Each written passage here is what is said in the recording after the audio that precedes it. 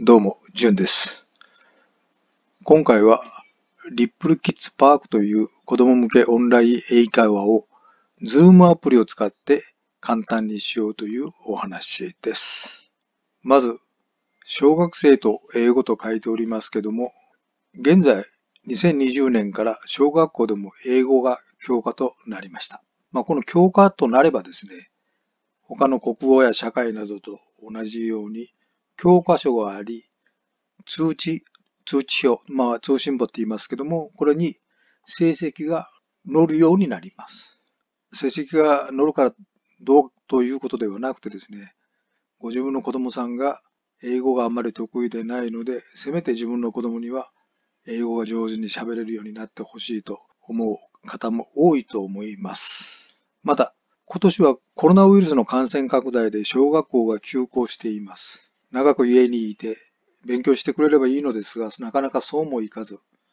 親としては焦る気持ちにもなってきますね。悩みとしては、英語の学力低下が心配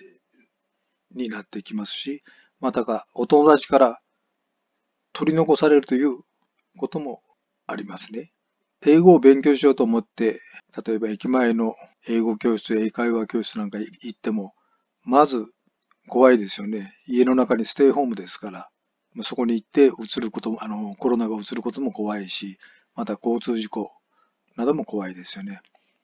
こういう悩みをですね、解決するには、家の中で子供向けオンライン英会をしてはどうですかという話ですね。まあ、オンラインですから、自宅で英会話のレッスンができるんで、送り迎えは不要ですし、時間も自分で選べます。また先ほど申しましたように、外に出かけなくても済みますので、コロナや交通事故にも安全になります。またこのオンライン英会話というのはですね、あの駅前の英語英会話教室などに比べると月謝が格段に安く数分の1ぐらいになりますので、その面でもおすすめです。ただですね、このオンライン英会話は簡単にできるっていうふうにしてますけども、これはどういうことかと言いますとですね、オンライン英会話、ビデオ会話ソフトのスカイプというものを使います。このスカイプはですね、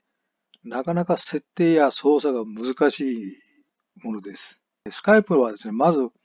自分のスカイプをダウンロードして、そのインストールして設定して、それプラス自分の自宅の電話番号を登録する必要があります。また、あの、オンライン英会話を始めるときはですね、スカイプの場合は事前準備として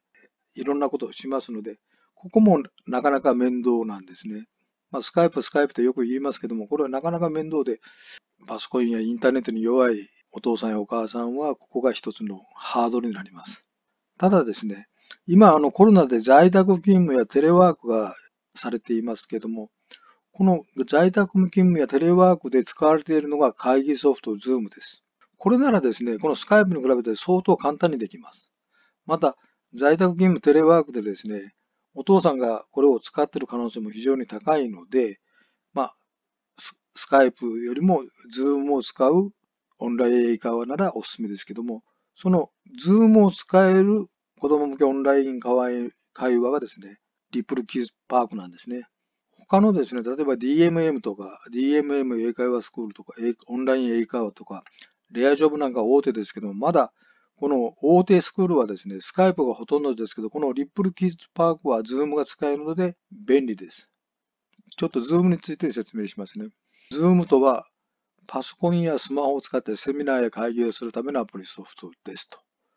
ですから、コロナウイルスが感染拡大している今、企業が在宅勤務やテレワークをしているときに、このズームを使って仕事をしています。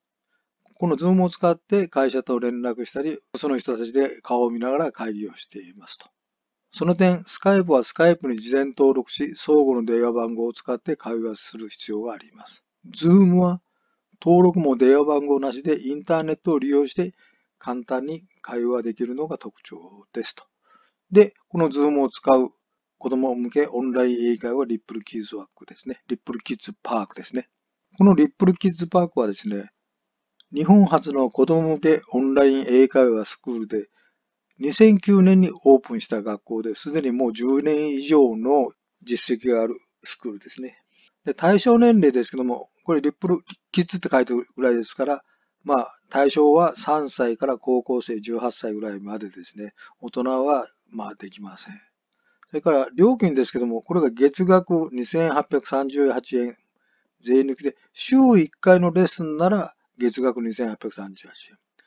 まあ、これ、駅前の英会話教室行くなるともう、下手したら1万円きますよね、これ。非常に安いですね。それからレッスン回数ですけれども、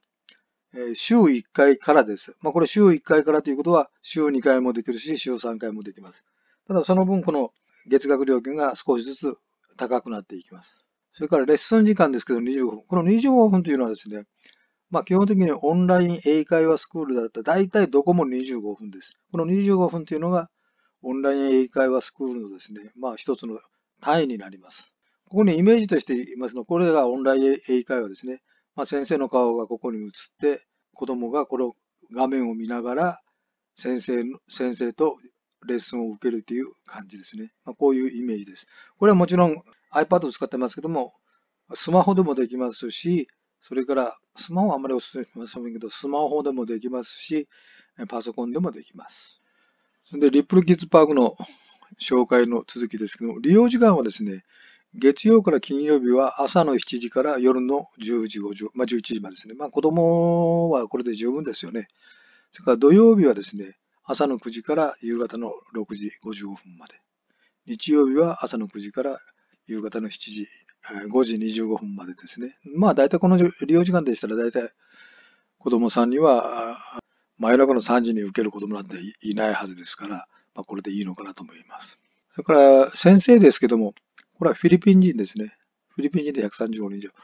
これはフィリなぜフィリピンかというと、まあ、先生はそのオンラインでつなぎますので、世界中どこに行っても、どこにいてもいいわけですけども、フィリピンだと人件費が安い。それと、フィリピンの人はですね、第二言語、第二母国語がですね、英語なんですね。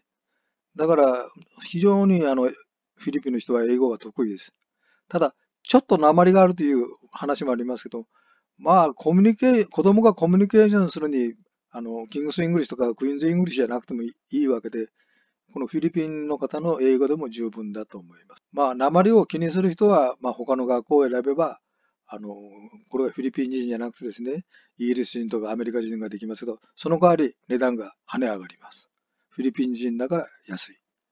それから無料通話ソフトですけども、先ほどからずっと話してますけど、ズームが使えます。それともし今までスカイプを使い慣れてる人がいたら、もうこのスカイプももちろん使えます。それと無料体験レッスンですね。理解。どういう学校なのか、どういう先生なのか、どういう教え方をするのかというのが、それからどういう雰囲気なのかというのは大変大事ですけども、いきなり入会するんじゃなくて、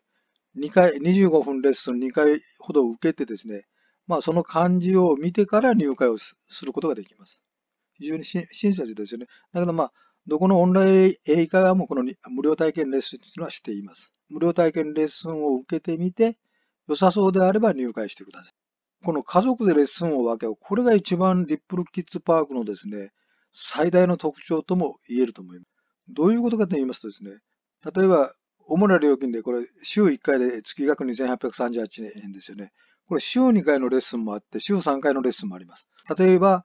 週2回のレッスンに加入して、月額4440円税抜きですけども、これを兄弟2人で分けます。どういうことかというと、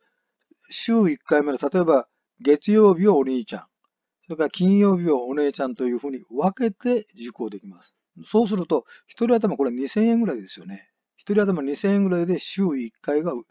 けられるということですね。お兄ちゃんが月曜日、お姉ちゃんが金曜日、まあ水曜日、まあ、そういうふうなやり方できます。それからもっといいのはですね、お母さんもちょっと勉強したいなという方もいらっしゃると思います。そういう方はですね、お母さん、週3プラン、要するに週3回のプランで月額6111円に加入するとですね、お母さんが月曜日、お兄ちゃんが水曜日、お姉ちゃんが土曜日と1回ずつできます。これ非常に便利ですよね。こういうのはあまり他にシステムがないので、まあ、このリップルキッズパークはですね、非常におすすめなオンライン英会話ですと、これが一番魅力的かなと思いますね。お母さんまで勉強できて、で、これも一人ずつに直すと2000円ぐらいですよね。一人は2000円ずつ週1回受けて、受けられるというのがですね、それもお母さんからお兄ちゃん、お姉ちゃん、こういうふうに受けられるというのが、リップルキッズパークの最大の特徴で、非常にお勧めするところですね。それで、あの、無料体験2回ですけども、この2回の申し込みはですね、この動画の概要欄、あの、動画の概要欄のところにリンクを貼っておりますので、それを見てください。えー、この動画の内容はですね、私のブログ名、子供オンライン会はおすすめランキング5000というブログがありまして、その中で記事名としてリップルキッズバグ子供オンライン英会話おすすめランキング比較1位という記事がありますので、この記事名で Google、Yahoo どちらでも結構ですけど検索するとアクセスすることができますのでよろしくお願いします。以上です。このチャンネルはシニアの方がスマホやパソコンでお困りの時や新しい使い方をお知りになりたい時に役立つ動画を掲載しています。よろしかったら高評価、チャンネル登録をお願いします。